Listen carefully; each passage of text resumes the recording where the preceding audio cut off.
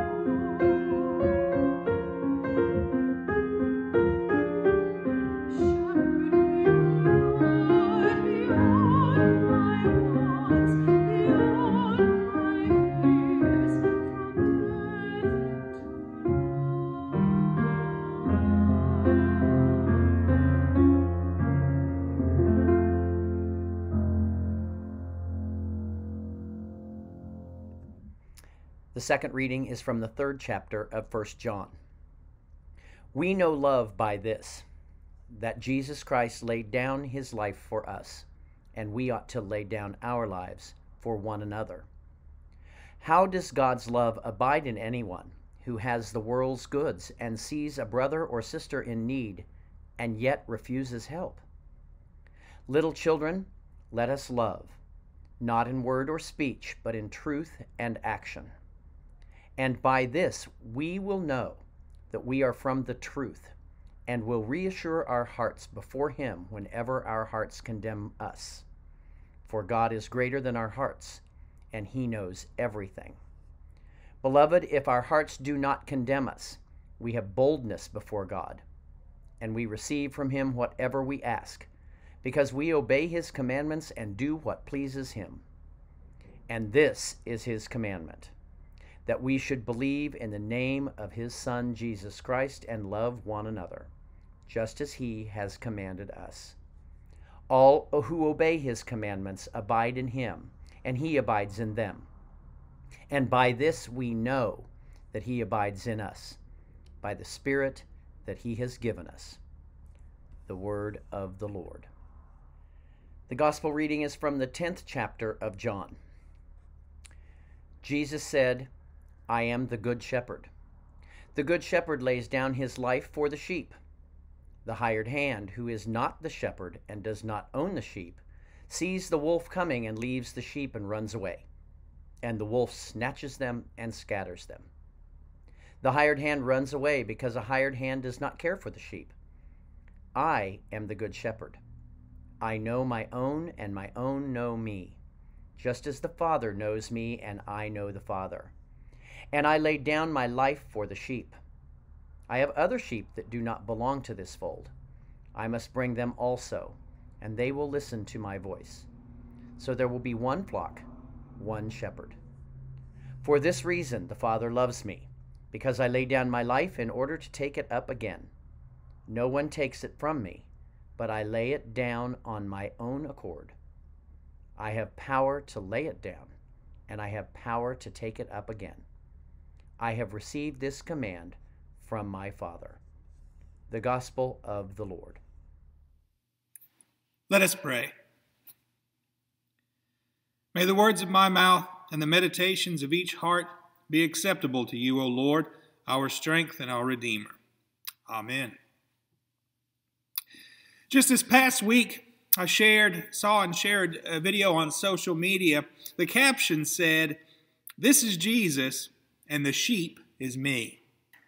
And it showed a video, it showed a scene of a sheep who had fallen into a deep trench and was quite stuck and unable to free itself. A young man, obviously acting as a shepherd, carefully pulled the sheep by the leg up to level ground. And as soon as the sheep had its footing, it ran away with all its effort, took a mighty leap, and fell right back into the same trench from which it had been freed. We can only hope that the young man repeated his liberating efforts and that this time the sheep stayed clear of that particular pitfall. Sad though it is that this particular beast did not easily learn its lesson, the same can indeed be said for us. We are prone to make the same mistakes over and over, and yet Jesus, as the Good Shepherd, is prone to rescue. Shepherds were a common sight in Jesus' world, and they didn't just mean one thing. They represented, as you might imagine, the calm, idyllic life. Someone with a busy administrative job in the city might dream of one day moving into the country and becoming a shepherd, tending flocks while sitting under a shade tree and practicing songs on the lute. But there was another aspect to shepherds. They were also a metaphor for kings and prophets. Moses himself was tending the flocks of his father in law Jethro, acting as a shepherd, when he saw that great sight of a bush that was burning and yet was not consumed. Then to receive his calling as a shepherd for all of Israel, leading her out of bondage and into freedom. So, by calling himself the Good Shepherd, Jesus is calling to mind both peace and leadership, God given authority and tranquility. The particular aspect of shepherding that Jesus seems to be highlighting as he reflects on his role is that he is wedded to his flock. There might be others who are less connected to the flock, those hired hands who run away when the trouble comes, but that is not he. He is the good shepherd who takes his role with life and death seriousness. In fact, he will lay down his life for the sheep, as a good king would do also for his people. And he goes on to say that his laying down of his life is central to his mission, but that death will not hold him. The other sheep which must hear his voice in this context must be the Gentile people, who at this point in the story are not yet ushered into the fold, but will be as they begin to be baptized and as the Holy Spirit falls also on them. Jesus will be the shepherd of a large and diverse flock.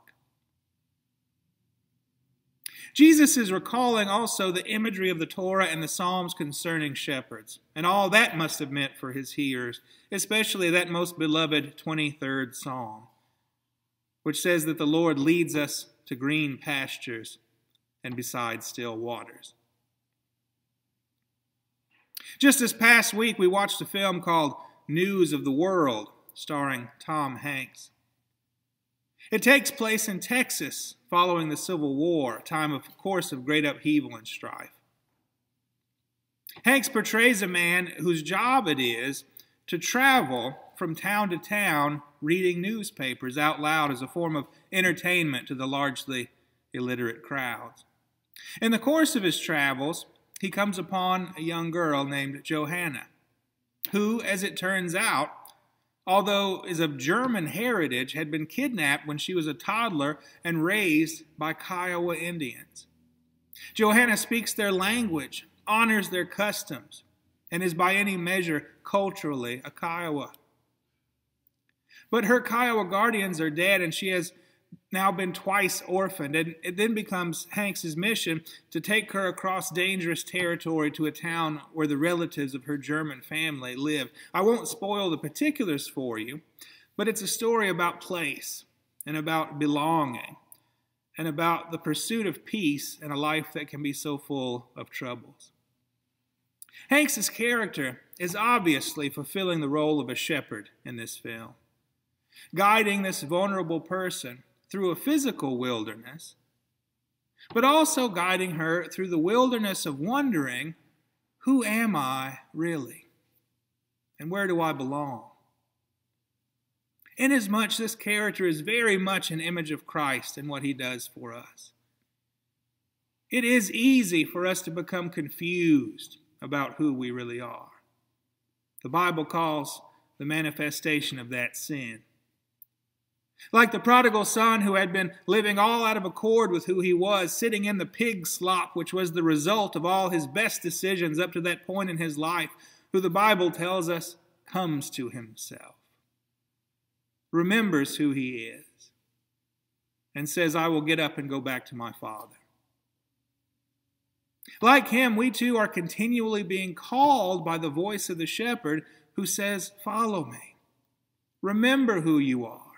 You are a child of God. You are fed and forgiven. You have the capacity to bring holiness into the world.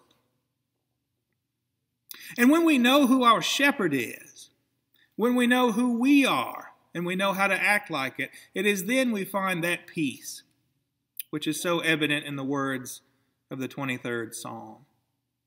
That kind of peace which praises God for what is and not what might be. It's such an interesting aspect of human nature that we don't really know how to find peace on our own. I'm going to move to the country.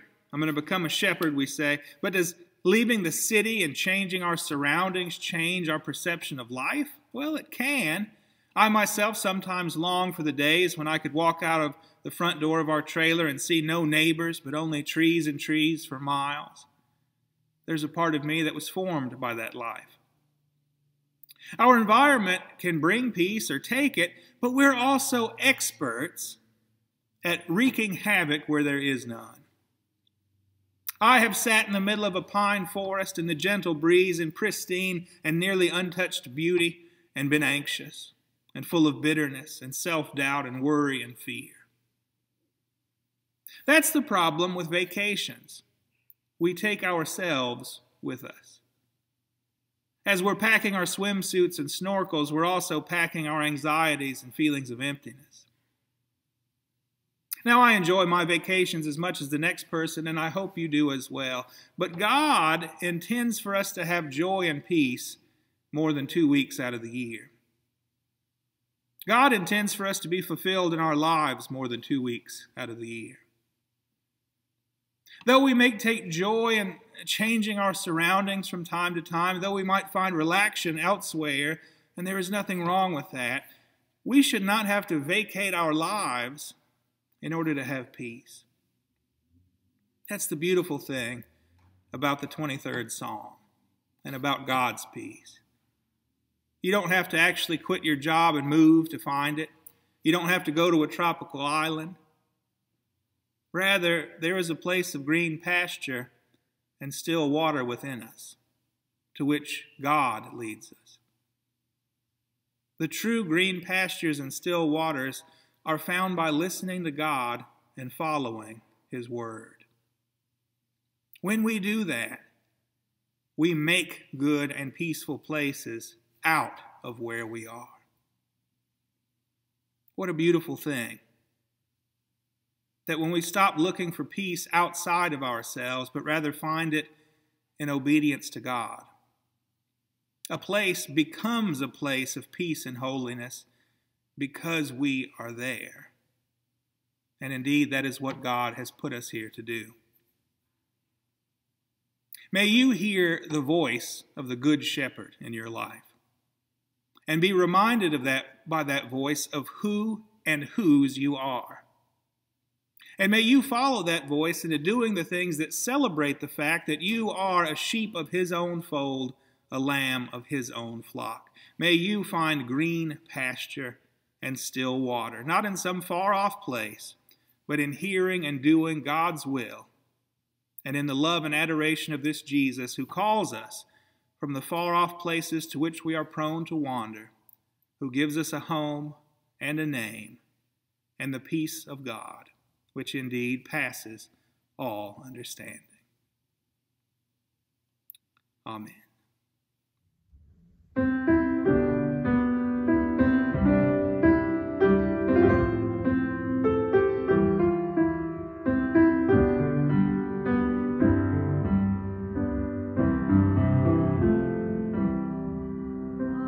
you.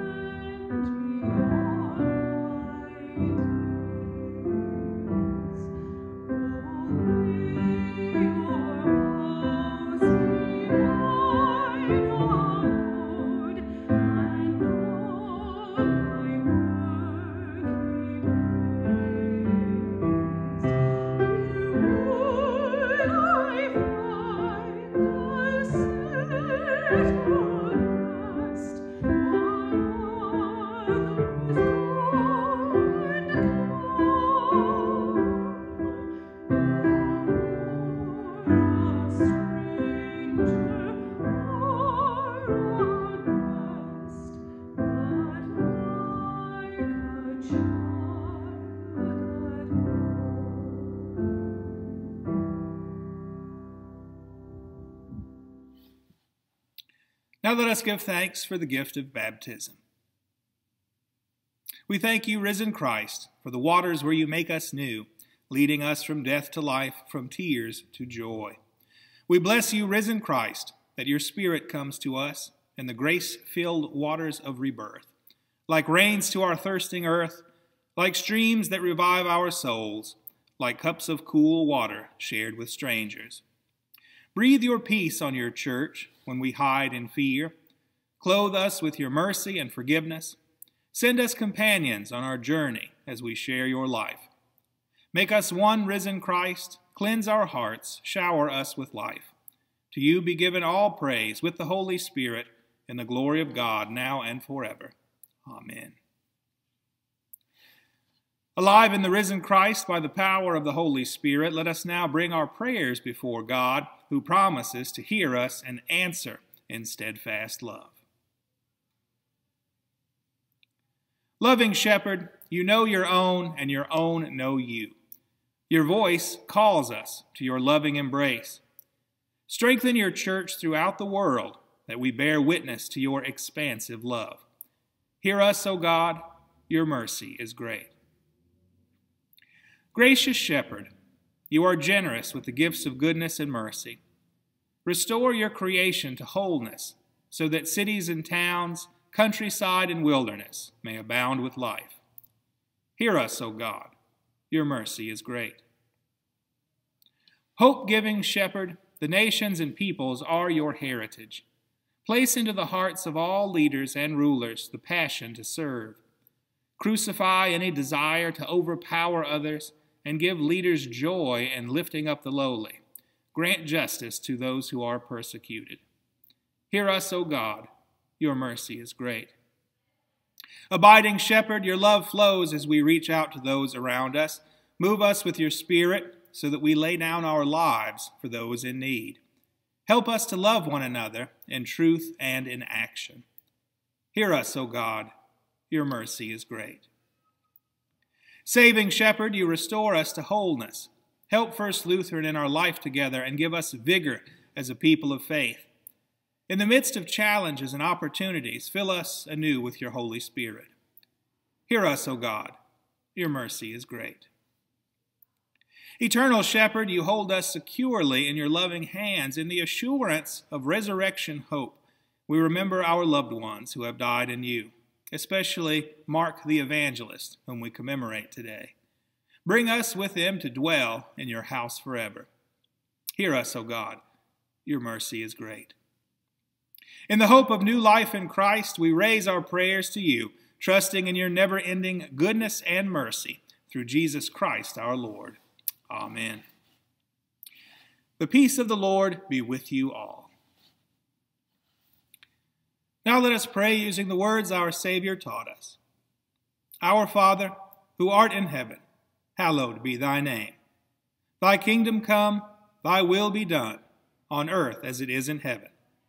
Give us this day our daily bread, and forgive us our trespasses, as we forgive those who trespass against us.